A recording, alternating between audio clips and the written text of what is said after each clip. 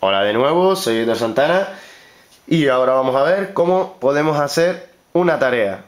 Quiero decir, vamos a ver cómo podemos aplicar filtros, poner esos filtros con algunas aplicaciones y además aplicar alguna que otra tarea para que el móvil, el Titanium Backup, se nos sincronice solo y mmm, se nos sincronice o se nos haga copias de seguridad solo y nos las restaure solo.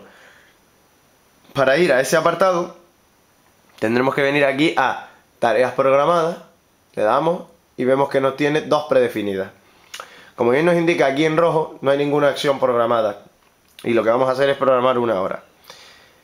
Le damos a editar, por ejemplo, a la primera y en la primera opción tenemos toda una lista de lo que podemos hacer, desde rehacer las copias de datos modificados o respaldar, como dijimos en, la primera, en el primer vídeo, respaldar todas las aplicaciones del usuario hasta borrar copias de aplicaciones desinstaladas, integrarlas con la ROM, restaurar, bueno, mil cosas. Por ahora vamos a poner una copia entera, que nos copie todas las aplicaciones, o sea, una copia simple de todas las aplicaciones que tenemos instaladas en el terminal. Ponemos respaldar todas las copias, por ejemplo, respaldar todas las aplicaciones de usuario. Pone no filtrar porque aún no hemos creado ningún filtro. No nos hace falta en este caso, ponemos la hora en horario 12 horas. Los días, tenemos que tener en cuenta que si ponemos 2 de la mañana del martes, será la noche del lunes al martes, que es la madrugada del martes. Por si acaso a alguno no le queda claro y cree que esto va a ser las 2 a.m. del lunes. Las 2 a.m. del lunes es según pasan las 12 de la noche del domingo. Por si acaso lo dejo claro.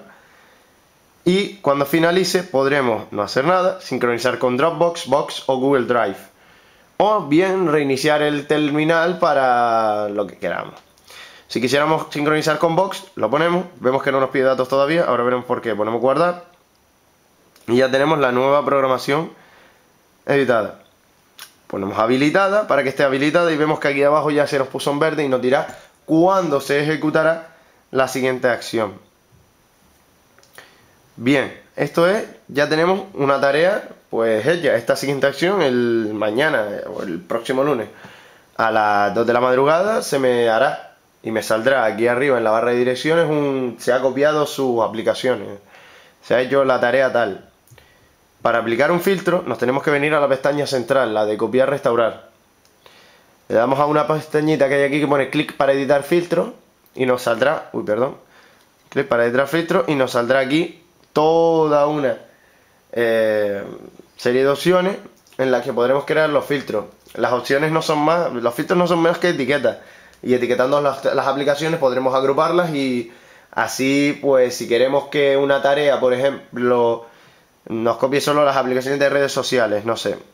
Pues bien, podemos poner filtrar por estado todo, da igual que estén copiadas o no copiadas. Tipo, quitamos las del sistema. Temperatura da igual, y ubicación igual. Estado de Android Market igual. Bien. Ponemos la etiqueta. Ups.